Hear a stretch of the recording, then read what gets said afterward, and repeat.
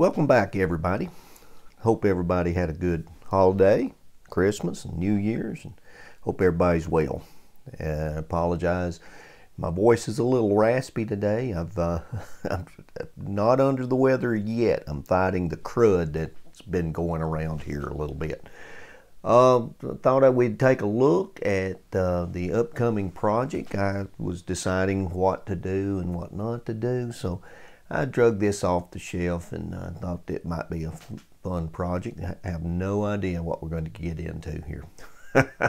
so, anyway, this is a Philco 54C, 54 Charlie. Now, this was made around 1935. Uh, there was uh, the early models, they come out in 33 and they had a wood front and had vertical bars on the, uh, on the speaker. Uh, then in the middle uh, versions of this, about 1934, it was similar, but it had a faux finish on it. And it had some burl patterns on it. And the late model, which is a 1935 Charlie, uh, it had a wood front with a wave pattern at the top. Uh, so when this came out new, this was uh, the C is for compact, I believe, and uh, it was it cost originally about twenty nine ninety five new, and it was called a Pee Wee or a cigar box. Uh, it was a mantel radio, is what it was. Um, so it weighs slightly over 11 pounds, and uh, that's about five kilograms for my people overseas. Uh, and it measures 14 inches, uh, almost 14 inches, uh, 8.7 inches, and the depth of it is 5 inches. And in millimeters, that's 335 millimeters. Uh, it's 220 millimeters and 130 millimeters. It's a five tube super heterodyne. Um, and the tube complement, it has a rectifier or 25Z5. Uh, it starts out the chain uh, from the antenna is 6A7 mixer oscillator. Then it goes into the IF amplifier, uh, which is a, a, number 78 tube. Then it goes into the second detector, the AVC first AF tube, which is a, a 75 tube. And then the power output is a, a 43.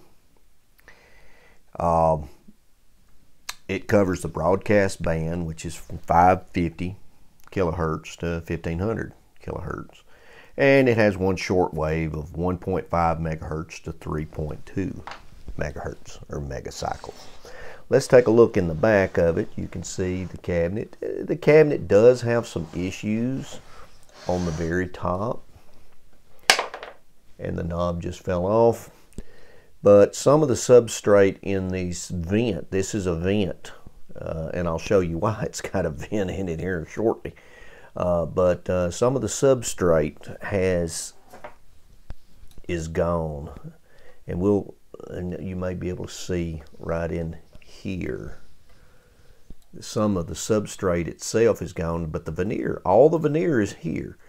Uh, and some of the veneer has been stuck back down to the substrate. I don't know if, uh, what has happened or uh, if somebody's tried to repair it, but um, hopefully we're going to be able to repair this substrate and keep this veneer. If not, then we'll re-veneer the whole top of it. Okay, but uh, it's a nice looking front on this. Keep the glare off of it, maybe. Um, but uh, the these dials are you can buy them. Um, the knobs they look original, but for some reason this one's not fitting well, and I believe this may have been changed out and it doesn't fit the the, the knob correctly. So let's go ahead and pull that off and get that out of the way. But let's look in the back real quick. Uh, some more cabinet issues here. Um, some veneer loose. That's not anything. Uh, don't, uh, don't don't don't pay no attention to the man behind the curtain there. Uh, but uh, got an antenna wire that drops out the back and the power cord. Now this originally had a back on it um, and similar to a television, uh, had uh, holes in it for vents. Um, here's the capacitors, the filter capacitors, and those look original. Now, they may have been replaced underneath here. Who knows? Who knows? But these are power resistors. Uh, and I would think these probably get fairly warm, and that's the reason it had a back on it. The back also had an interlock, so that if you pull the back off, this would not work. It did not come up come with a back, so there we go. Uh, here's the switch in the back that switches the uh, the bands. And that just sounds like an on-off switch to me. Uh, how that works, I, I don't know. We'll figure that out as we go. But it's pretty jammed packed in there, if you can see. Looks like all the tubes are here. Uh, person I bought this from says it works, but poorly. Now, what does that mean? I don't know. So, don't know whether to plug it up or just go ahead and tear into it. Let's go ahead and, and take this out of the cabinet and take a look underneath. Okay, as usual, at least one screw missing. Yeah. Fortunately, the knobs are here. Quarter inch screws on the bottom with washers. Look like uh, the holes are worn out pretty good. Looks like somebody may have been in here several times. Don't know. We will see.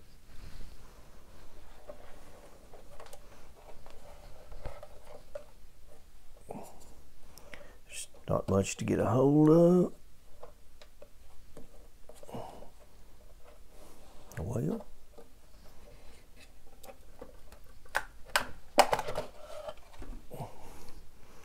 Okay, let's set this to the side. See what this looks like inside. Um, cardboard front.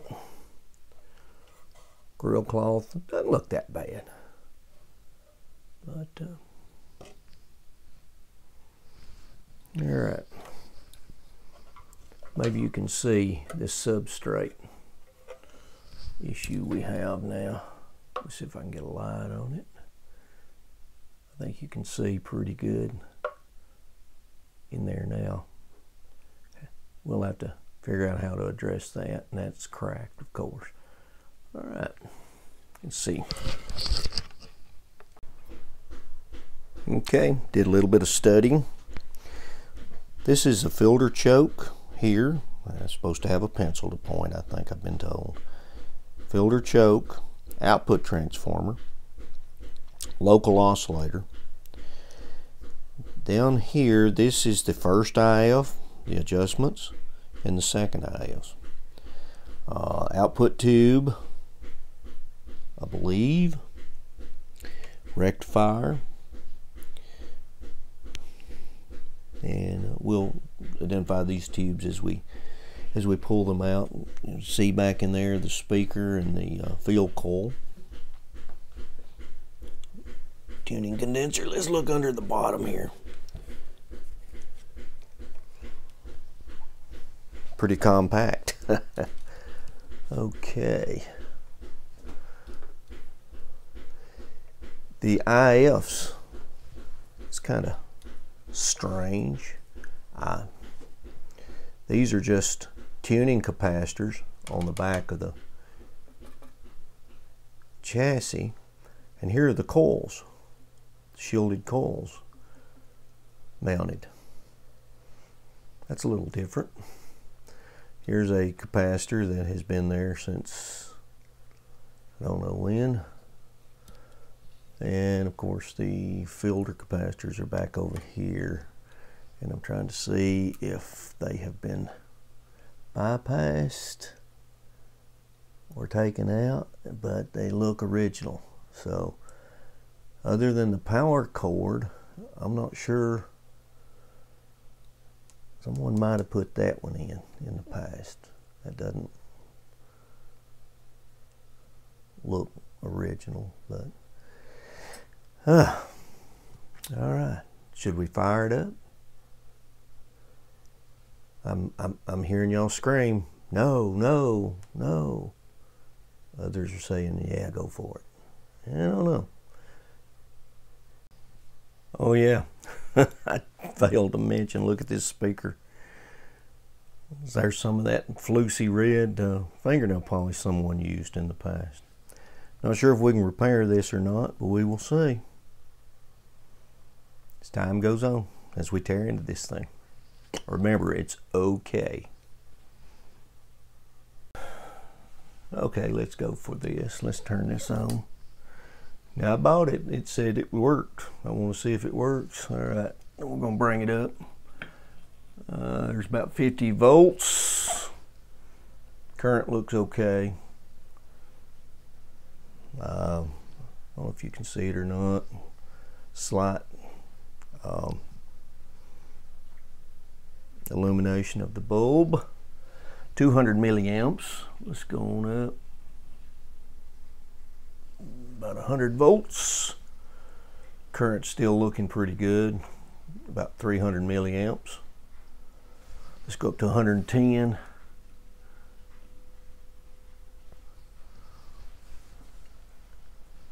Uh, let's see, as it's warming up. Current, eh, 400 milliamps.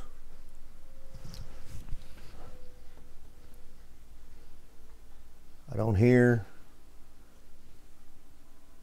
I hear a little bit of hum. Washer's going on in the washroom next door. Let's tune it and see if we can find anything.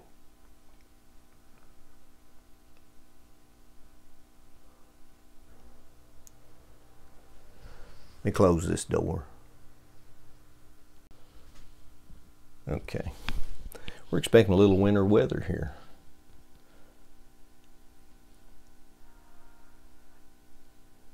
I hear a little something there.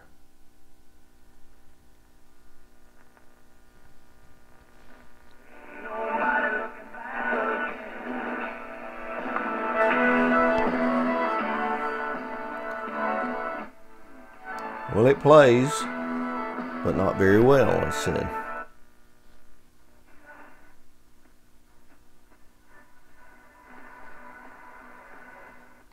Well, there's three stations. Getting three stations.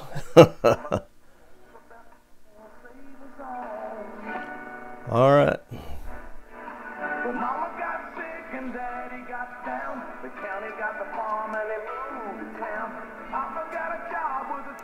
Okay. I believe uh, we're going to have our work cut out for us. Still pulling slightly over 400 milliamps, which is about normal for this.